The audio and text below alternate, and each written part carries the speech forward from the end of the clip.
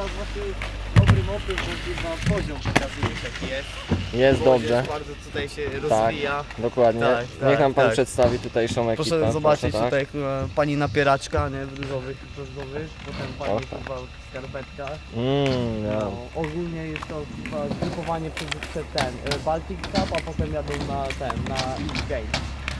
I wszystko I jasne. wszystko. Był nawet Travis Pastrana, niestety Tak, pojechał. A tam syn Chrisa Hafeja właśnie wjechał na rampę. O, O, tak. I wyjechał. I nie? wyjechał. No. A tu, tu tasimy. Coś pięknego.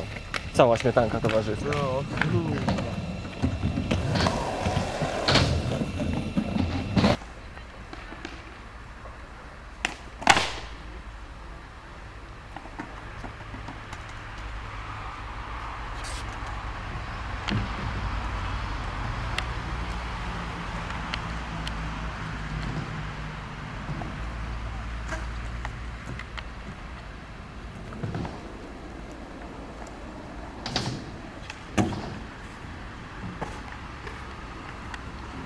Hmm.